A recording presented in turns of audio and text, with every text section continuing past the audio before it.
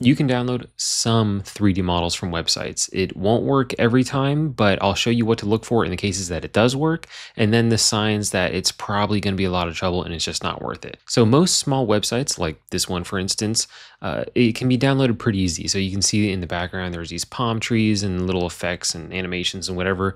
But to download the base of the 3D model itself, all I would do is hit Control Shift C on the keyboard and bring up my developer tools. And uh, I'll be the first to tell you, I don't know anything about web design, but you really don't have to to know what you're doing here. So all I'm going to do is go to the network tab and there's nothing here. So what we're going to do is refresh the page and you will see slowly all of these assets come in. And these are just the assets that make up the website. So you'll see there's all sorts of PNGs and different JSON files, or, or no, that's actually JavaScript, sorry. Uh, just all the random stuff that makes this web page work. But we're looking for a 3D model. Well, it doesn't exactly just scream at you what, what that model is, though you are looking for, in most cases, either a GLB or a GLTF file, because those are the real time rendering files used in most web pages. Uh, so we're going to look for something like that. And it makes it a lot easier where we can just go to the top here and search it because like this actually is not too bad uh, of a, a list, but sometimes it can be pretty long. So I'm just gonna search GLB and you can see I got a couple files here. So you can just double click on any one of these and it'll download. But the difficulty is you don't really know what you're looking at because usually they're not named pretty accurately and there's no size here in my case. It, it, this could be different in every instance. Like sometimes the size will be there, sometimes it won't. So what we can actually do is disable caching and then refresh the page again.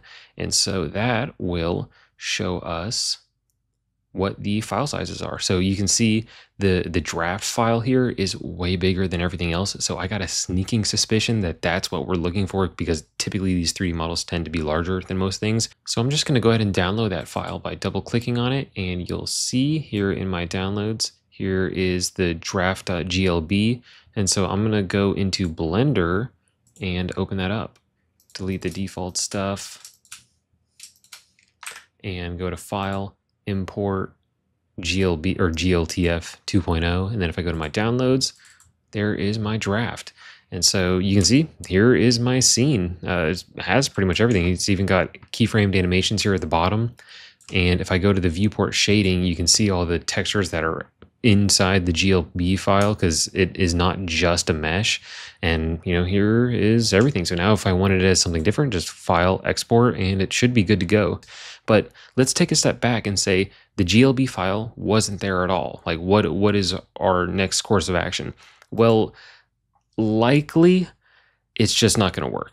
There's a couple things that it could be, but more than likely it's some encrypted super proprietary file type that is made specifically by that website and this is you'll see this on like sketchfab or any other like bigger website not so much these smaller things and so it's going to be so much work to unencrypt it that it's probably not worth it but i'll show you where to look just in the off chance you do want to follow that rabbit hole and see if you can do it so I'll show you an example that does not use a GLB file. So like I was saying, Sketchfab is one of them. So I'll hit Control Shift C for the developer tools again.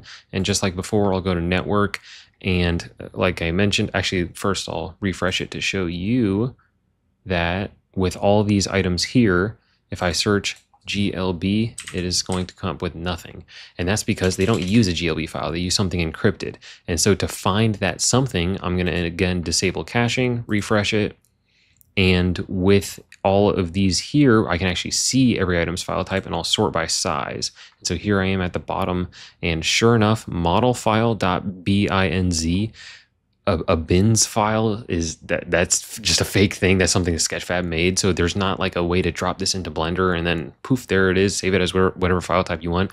So you can locate these files, but translating them into what you need to use into some other file type, that's going to be a tough problem to solve. Uh, Sketchfab is not the only one. Like I've seen PDA files before. Like that's just that's not a thing. That's not it's some encrypted thing.